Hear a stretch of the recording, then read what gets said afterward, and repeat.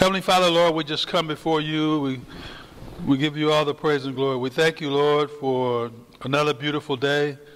Lord, we, uh, we pray for those in our class who, who are not able to make it this morning. We pray for those who are dealing with losses. We pray for Rachel Starks and the loss of her, her brother, Ronald. Lord, uh, we pray for uh, Augie and Beverly. Augie's still trying to get better. Lord, uh, we pray for Janet Cross's son. Uh, we lift up so many folks in this class, and uh, we just thank you so much for the opportunity to just come together and study your word. Thank you so much for an awesome church that loves the word and teaches the word. So we pray for it all in Jesus' precious name. Amen. All right. So we're going to be talking about fruits of repentance. And uh, um, we're going to be talking about John the Baptist. So, so make sure you recognize the difference between John the Baptist and John the Apostle. So uh, uh, sometimes it's, you know, no matter how long you've been in the Bible, sometimes you, you can get a little bit confused with names because there's lots of names in the Bible that are the same, and so you just. Uh, but we're talking about John the Baptist this time, also known as the forerunner of Christ. So it was prophesied that he would come.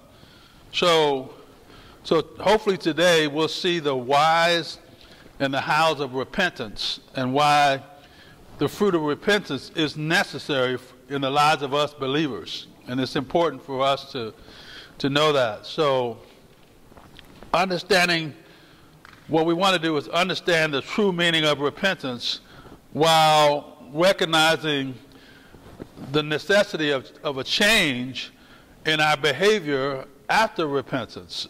So, if once one gets saved and there's no change, there's, something's wrong. Something's wrong. And so we have to figure out, like, what is wrong? And it could be the environment that that, that person is in, that there's no uh, element of growth. You know, could it be that the person never got saved? You know, that's a possibility. Um, because a lot of times people so-called get saved out of fear because certain people preach the gospel and and they they they call it fire insurance so they they try to get you to, to be scared about going to hell. And so you quickly say, Yeah, I want to get saved.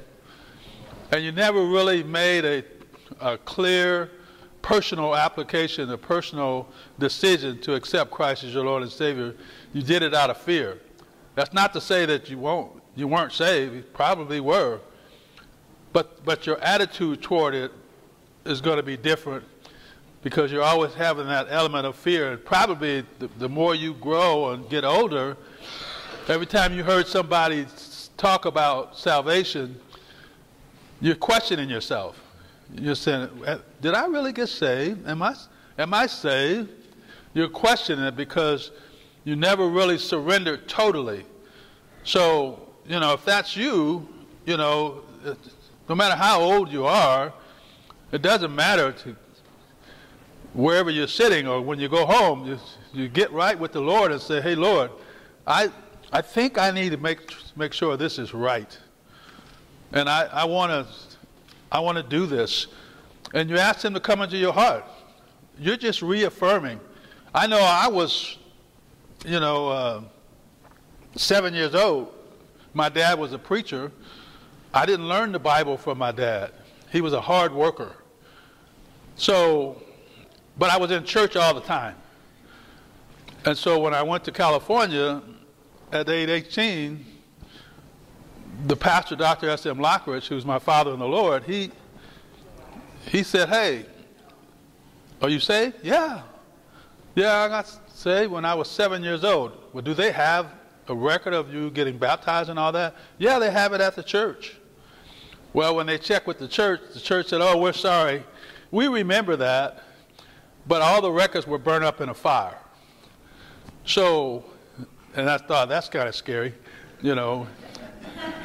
you know, so uh, he said, well, I'll tell you what, let's reaffirm your salvation.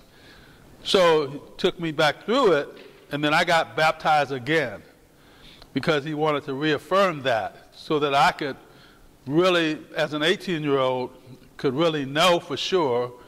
And that's not to take away from five year olds and seven year olds who get saved because they really have a great relationship with the Lord.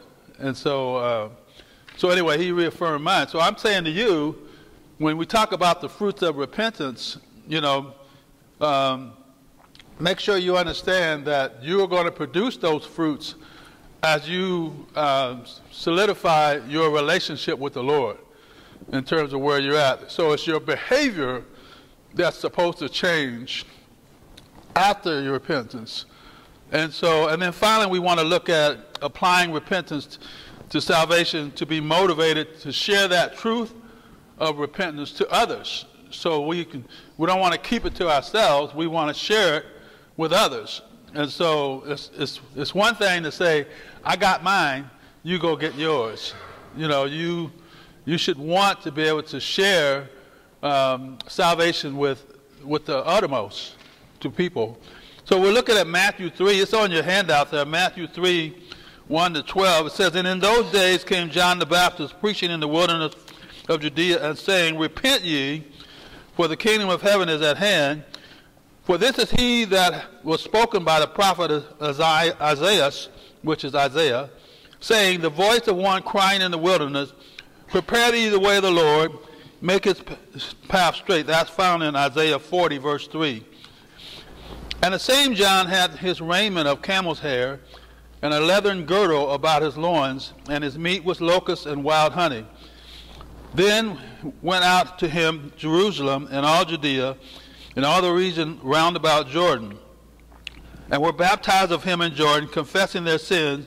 But when he saw many of the Pharisees and Sadducees coming to his baptism, he said unto him to, unto them, O generation of vipers, who hath warned you to flee from the wrath to come? Bring forth therefore fruits meet, that's worthy, for repentance. Stop right there. Let's stop right there because Charles Stanley said this, and he, he passed away recently. He said, uh, genuine repentance leads not only to a change in attitude, but also a change in behavior.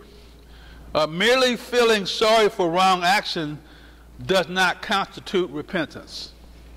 So a lot of times people, you know, they're sorry because they got caught, you know, so much. He's, Charles Stanley is saying, Merely feeling sorry for wrong action does not constitute repentance. And then verse 9 says, And think not to say with yourselves, We have Abraham to our father. For I say unto you that God is able of all of these stones to raise up children unto Abraham. So you need to understand that repentance is not inherited. So it's not a family thing. It is individual and personal. So you didn't get in because your mother got in or your father got in. You know, you, I saw that a lot as a kid where parents would go down to the altar and they take all the kids with them. And so most of the time when the deacons or whoever were down there, they would talk to them and they would welcome them to the church. So sometimes salvation was not even talked about. They just joined the church. So then, of all the funerals, a lot of the funerals that I've done, when I read the obituary, they said they accepted Jesus at a young age. And that's all they said. You know, sometimes they said they joined church at a young age. Well, that's not salvation. So, so we have to say that repentance is not in, you did not inherit that. That's a personal decision that you have to make yourself. And, and when I was at Temple Heights over there next to Baptist Temple, when I had a Bible study over there at my business, I led people to the Lord who were in their 80s and 90s. You know, because they recognized that they joined the church as young kids and they never really had a relationship with the Lord. So I'm not saying I'm not saying anybody in here maybe if if you don't know the Lord, get right with him Make sure that your repentance is individual and personal, not inherited. Then the scripture continues, said, And now also the axe is laid into the root of the trees. Therefore every tree which bringeth, bringeth not forth good fruit is hewn down and cast into the fire. I indeed baptize you with water unto repentance. But he that cometh after me, he's talking about Jesus, is mightier than I, whose shoes I am not worthy to bear. He shall baptize you with the Holy Ghost and with fire, whose fan is in his hand, and he will thoroughly purge his floor and gather his wheat into the garner, but he will burn up the shaft with the unquenchable fire. So he's talking about Jesus who's coming after him because John the Baptist was a forerunner of Christ. Galatians 5 22 to 24 says, But the fruit of the Spirit is love, joy, peace, long suffering, gentleness, goodness, faith, meekness, temperance. Against such there is no law. And they that are Christ have crucified the flesh with the affections and lusts. So, John the Baptist was preaching for people to bring forth fruits of repentance, changes in their lives, based on their professed changes in their heart. So, if you have a heart change, your life's going to change. You know, and, and all through the Bible, it talks about the types of hearts that we can have. You know, it's, it's sometimes people can have a hard heart, a wicked heart, all those different things. So you want to have a heart change, and if you can do that, then you could have a, a, a change in your life. So the four passages on your handout there, Malachi 3.1, John 1.6, Matthew 11.11, and Luke 1.80, they all point out the life and ministry of John the Baptist. And so that was centuries before the birth of Christ, that it was promised that a prophet would come and prepare the way for the message of Christ. So long before Christ came, it was prophesied that John would come, a prophet would come. So your first, first fill in, John was a unique man with a unique message. A unique message. So there are, there are many preachers, you know, today who, won't, who will not preach a straightforward message like John preached. You know, he, he called those Pharisees and Sadducees vipers. He called it like it was. And, and praise the Lord, we have a, a pastor who will say what's on his heart and he will preach the word the way it is and he will call it like it is. But there are a lot of preachers that will water down the gospel and to, to make it conducive to build up the congregation. And so they, they, they bring the world into the church and start doing worldly things just to have a bunch of people. And so I'm not criticizing those churches per se, but I think when you start doing a lot of gimmicks and all the different things just to draw people in, and the Word of God is not being preached and taught, there's, there's a problem with that. Because now people are getting entertained.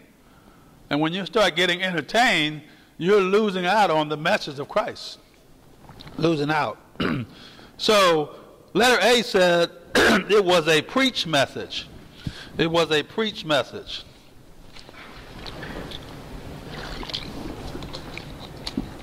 Second Corinthians 7.10, For godly sorrow worketh repentance to salvation, not to be repented of, but the sorrow of the world worketh death. So um, we want to have godly sorrow. We don't want to be sorry because we got caught. And so, and I say it again, repentance is not being sorry that we got caught in the act of sin or an attempt to make our lives appear good for God. We, are, we can try that. But it's the interchange of mind towards oneself, toward God, and towards others that's important. That interchange. Um, it is biblical repentance that leads us to salvation. It, it, what it does, it, it brings us to, to believe that and agree with God that it's sin. And sometimes we can, we can convince ourselves that what we did was not sin. Well, it really wasn't that bad. You know, it's, it was okay. I, it really wasn't a sin.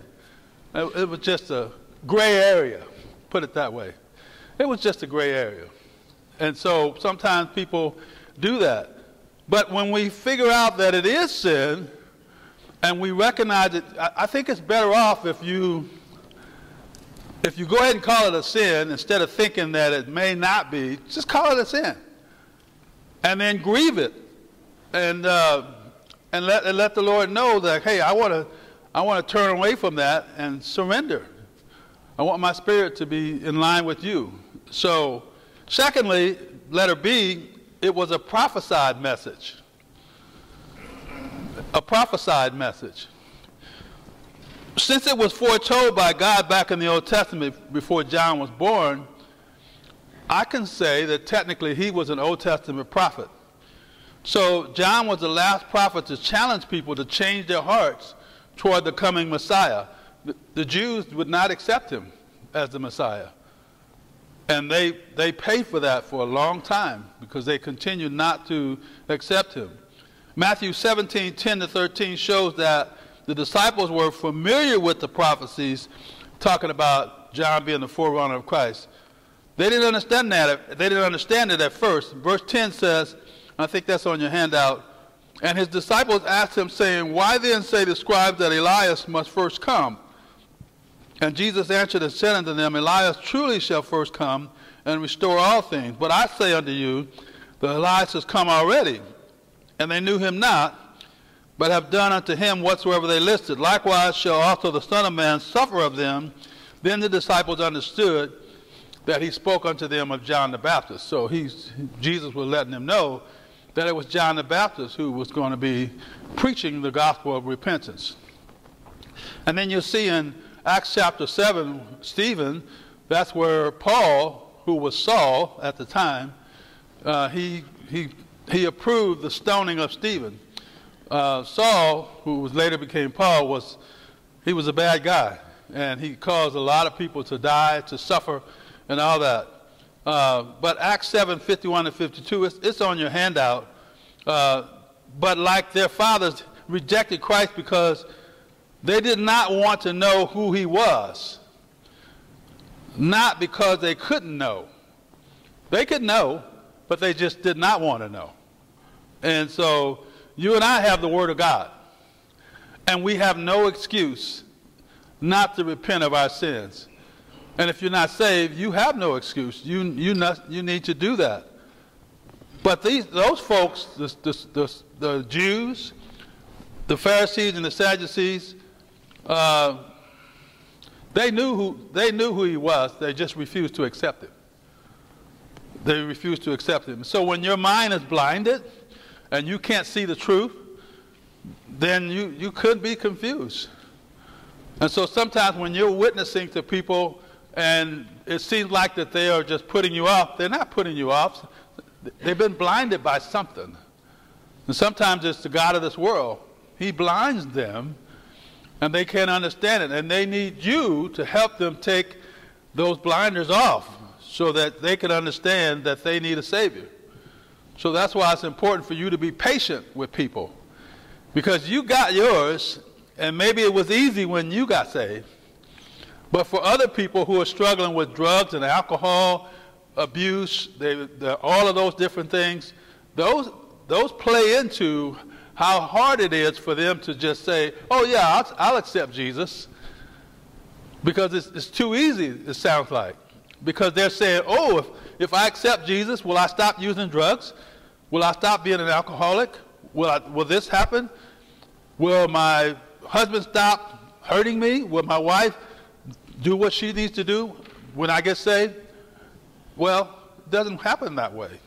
It's work. So you need to help them, you know, and be patient with them, whether they're in your family, whether your friends or your coworkers, and all of that. And so John was patient, but he let them know where they were. So number two is a unique mission. A unique mission. There was no other man in the history of the Bible who received the mission that John the Baptist received. I mean, he was the man that was going to come before Christ. And that was, that was a mission, a really great mission. And one of the things is, letter A, he was a common man. He was a common man. No fancy suits, no robes, none of that. And I, I kind of chuckle when I see that today, how people put all that stuff on, you know, to, to bring the message. And you don't have to do all that to bring the message. But if that's tradition, in some churches it's tradition. And I'm not going to criticize, I'm just saying if you're going to do that, if you're going to put on the robes and the fancy suits and all that, then make sure that you're preaching the Word of God. Make sure you're bringing it. But if you're just, if you're just up there and you're drawing attention to self, then you're not bringing the Word of God. So, John was a man, Matthew 11, 18 says, But what, ye, what went ye out for to see? A man clothed in soft raiment. Behold, they that wear soft clothing are in king's houses. They're just saying that John just had on regular clothes. There was nothing fancy about him. There was nothing hip or cool about John the Baptist. I mean, he, he spent time in the desert. So, like John, we must hum- be humble if sharing the gospel. John 1 22, 23 says, Then said they unto him, Who art thou? That we may give an answer to them that sent us. What sayest thou of thyself? He said, I am the voice of one crying in the wilderness. Make straight the way of the Lord, as said the prophet Isaiah. So John was just saying, hey, I'm just a prophet. And, you know, and I think if you look at it from that perspective and said, you're not all that in a bag of chips either. I'm not. You know, I just want to say, look, you want to have a relationship with the Lord, this is what the Bible says. I'm not, I don't want to stand in front of you to make you think that I'm better than you. And sometimes that happens if, if we get our salvation and we have the attitude, well, you need to get what I got. You know, that's, that ain't good. That's not good. So, so the idea is, is like, I, I'm a sinner saved by grace. So I'm no better than you you know. And Rosie and I have a healthy discussion about judging. And I always talk about judging with righteousness. And so I was talking to my, well, my barber, don't have much.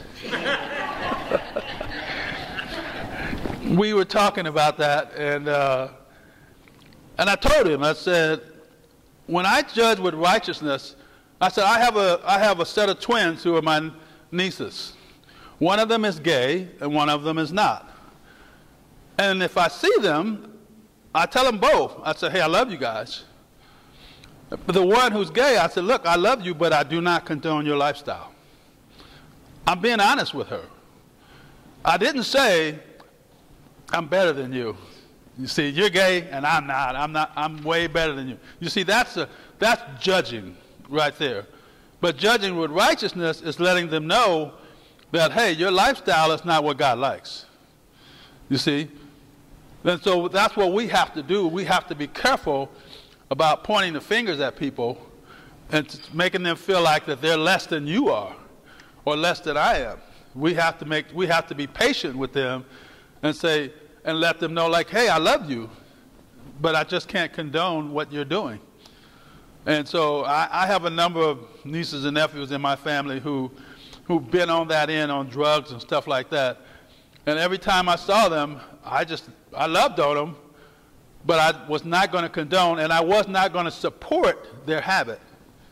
Uncle David, I just want to, I need 20 bucks. I need to get some gas. Are you sure you need gas? Uh, let's go look at your car and see what, how much gas is in your tank. The 20 bucks was not for gas. The 20 bucks was for drugs or alcohol. And I said, if you're hungry, let me go, let's go get something to eat. You know, that's what you have to do. You don't enable people. Don't enable them. You know, but love on them and care about them. Let it be, John had a compelling message. He had a compelling message. He was so compelling that people went out to John. In Matthew 3 6, it says, and were baptized of him in Jordan, confessing their sins. So his message was compelling. John knew that his message was to be about Jesus and not about him. Um, too many preachers today have made the pulpit about them, and people follow the man. And that's the problem. When you start following the man, then you're not following God. Because many of them don't proclaim the true and living Christ. And it becomes a situation where if you're not careful, um, you say, oh, I, I, just love this guy. I just love that guy. These guys on television. And then you have to ask yourself, why do you love that person? And if you cannot explain what they teach, if you can't say some of the things that they are saying, what thus says the Lord, then you're not following the Word of God, you're following that man. Or that woman in some cases, because they're women on TV, you know. So here it is. Number three, it was a unique mandate. A unique mandate. So the, the Pharisees and the Sadducees, they had their own list of rules connected to Old Testament law. And uh, so they decided to approach John where he was baptizing because they wanted to, to challenge him. And so they wanted to make a, a statement. They didn't go there to repent. That was not their, their uh, idea. And they certainly didn't want people to follow John's preaching at all. So you need to know that there's always going to be a group of people, there's always going to be Satan who wants to stop you from sharing the gospel. The gospel. If you are making Bibles, Carl was showing me the Bible that they're going to send down to Josh, Josh Keats' uh, group in Mississippi, and that they print the word. And so it's to get the word of God out to people, as well as that one has some discipleship lessons in it too, which was pretty cool. And, you know, the, the idea is like Satan does not want you to do that. He does not want you to share the gospel with other people. So he's going to do everything he can to pull you down, slow you down. And, and sometimes we have to, it's, sometimes it's our own flesh. We give the devil more credit than he deserves. It's our own flesh that does that. You know, because we're not focusing on being close enough to the Lord as we should be. So the devil, he just doesn't want you to share the gospel. So there are people who are in cults and false doctrinal churches that will try to lure you into believing what they believe all the time. And uh, but John was not intimidated by these religious leaders. And so you shouldn't be intimidated by these naysayers. You know, Jehovah Witness and people like that will come to your door. And I noticed that they're not hitting the doors as much as they used to. I wonder why. but they used to hit the doors like crazy. I mean, you could just see them going down the street, you know, hitting the doors. But um, I don't know if COVID did it, but I don't know. But they don't seem to be out there as much as they were. Uh, so I was reading real quickly. I was, I'm writing a message for Father's Day for Midtown, and I'm going to talk about a guy named Jonadab. And Jonadab was, uh, he was, he was a part of killing off the rest of those false prophets of Baal back when Elijah killed out the, the 400 of Ahab's false prophets. And uh, you know, as I was researching him, I found out that the Jehovah Witness have a group that they call the Jonadabs. And I go, oh man, I don't want to. what is this? So the Jonadabs, the Jonadabs in the Jehovah Witness sect is a group of people who are supposedly going to live on the earth forever. Because God told Jeremiah that this family of the, Rechabites will stand before him forever. So the Jehovah Witnesses have taken that and said, oh, we're going to have a whole class of Jonadabs. but the catch to it was, you can't be a Jonadab until somebody in the Naomi circle drops off. So it's like, oh, so we can't even get in because you know they already say they're the 144,000. They already say that. So I'm saying, how do they count? When they're Jehovah Witnesses born every day, people who join that, every day, when did the count stop? Where is the 140? Where did they come from? The Bible clearly says it's not Jehovah Witness.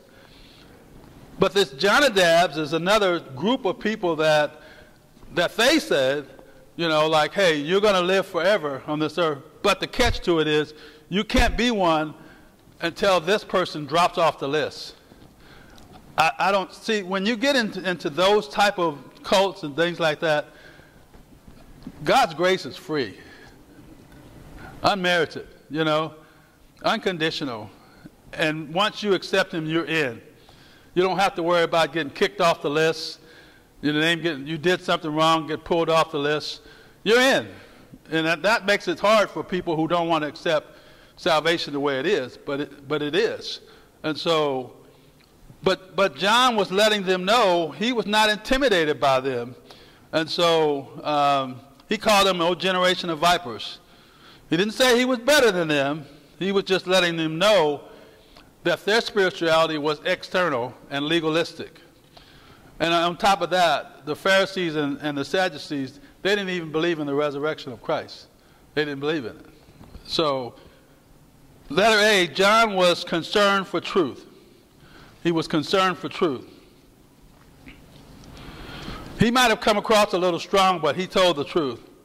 And today, sometimes um, we are told to be more tolerant and believe that all religions are the same.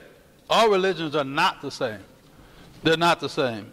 And so you have to believe the Word of God. You have the written Word of God in that King James Bible. And and unfortunately, you know, the, the world, the devil, is, wants to change God's word and make it more simple. But in the process, take out key words and key scriptures that is important for our growth.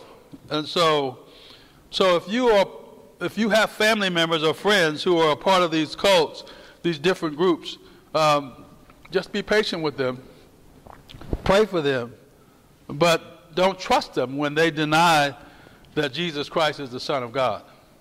So 1 John 4 3 says, And every spirit that confesses not that Jesus Christ has come in the flesh is not of God.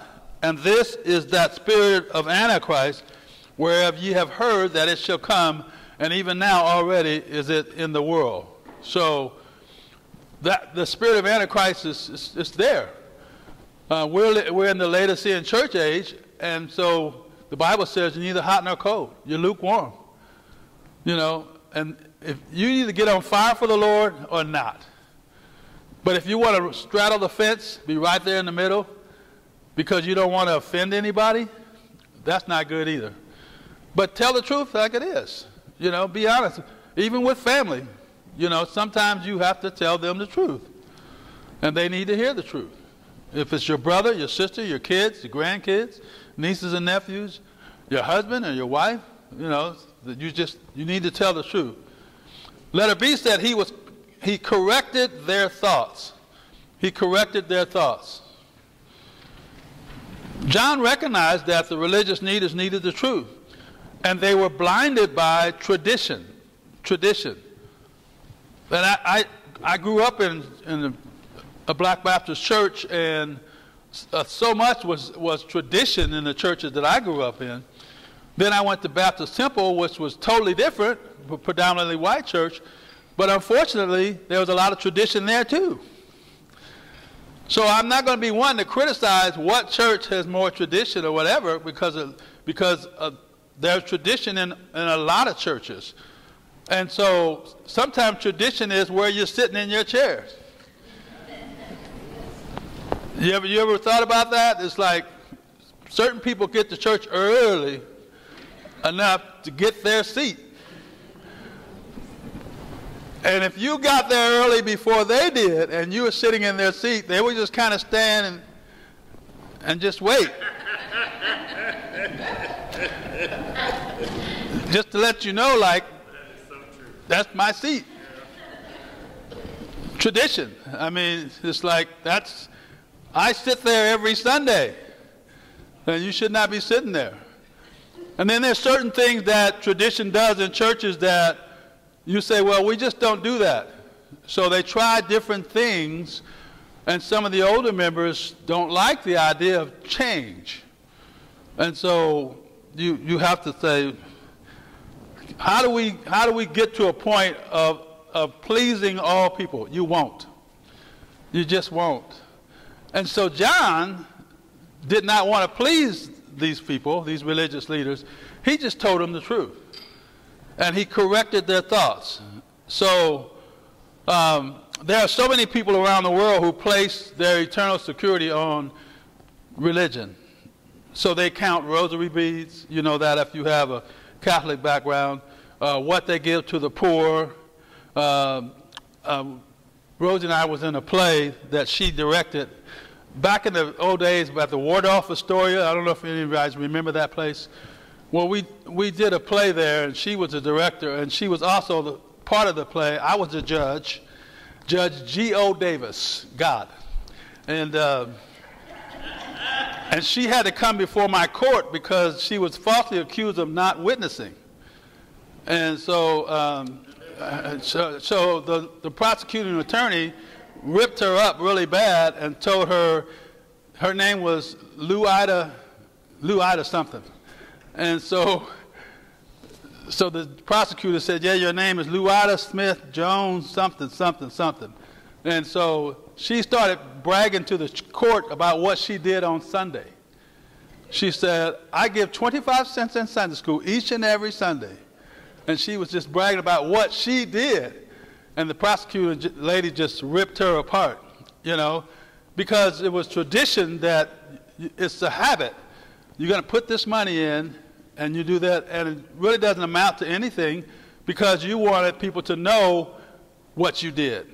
You see, when you do things for the world to see it, then it's a traditional thing that you're doing that has nothing to do with your relationship with the Lord at all. And so Ephesians 2 8 and 9 says, For by grace are you saved through faith, and not of yourselves, it is the gift of God, not of works, lest any man should boast. John 14 6 says, I am the way, the truth, and the life. No man cometh unto the Father but by me.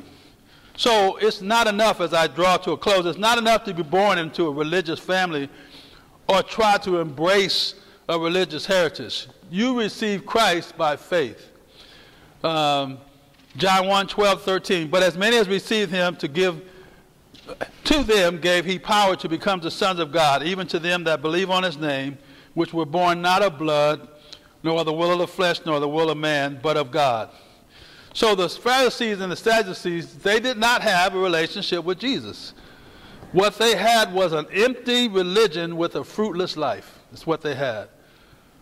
And John warned them that if they didn't exercise true repentance and prove it with fruit to show, they would be like a tree cut down that produced no fruit. That's what he was saying to them. And finally, let us see, he challenged them to turn.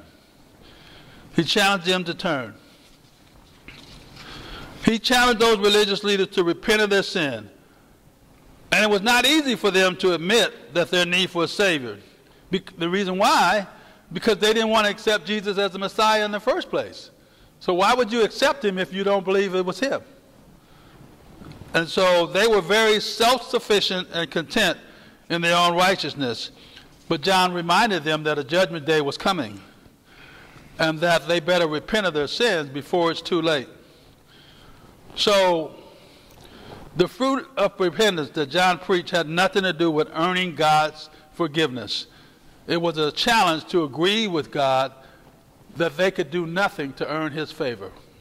They couldn't do anything. They just needed to accept him and to prove their trust in Christ by shedding those outward works of this dead religion that they were practicing, because that's what they were doing. The law. They were practicing the law.